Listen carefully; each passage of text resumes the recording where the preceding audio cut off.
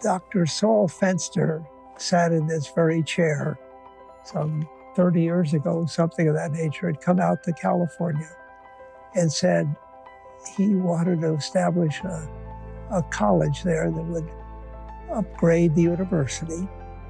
And he said that my vision of the college is to make it a place where overlooked young people can go.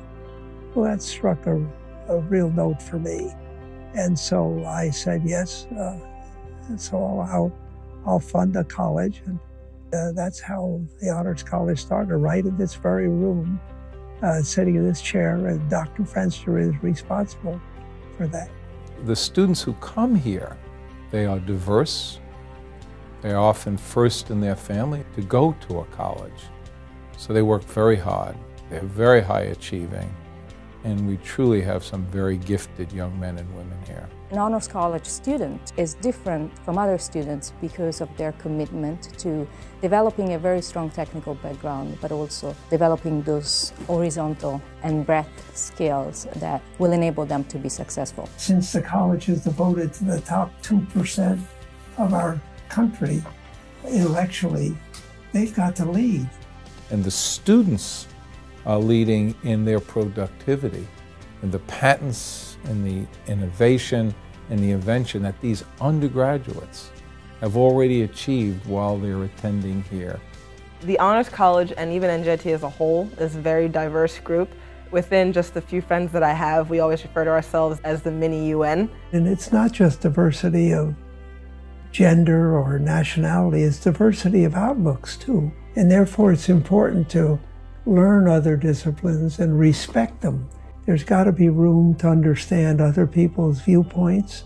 Those are important things in this kind of country if we're going to build a, the kind of country we want. One of the great things about the Al Dorman Honors College is bringing together all these academic disciplines. You really begin to sense a different culture. I know I've met people far outside the spectrum of what I would consider relevant to my academic experience, but I've learned things from them that I never like would have expected.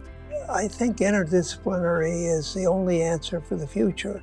I think the other advantage and what's unique to us is we are at NJIT, a very strong school uh, providing quality education at a reasonable cost to students who will be highly successful. I'm the oldest of uh, four, so it was always the situation that I needed to go to a university that would give me scholarships based on my merit. People assume that hardworking, high-achieving, sometimes gifted and talented people don't need help. Well, they do.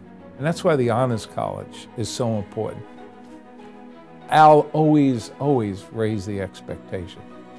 We have a picture of him in a running tracksuit and with a torch and that was, if I recall correctly, that was the 1984 Olympics.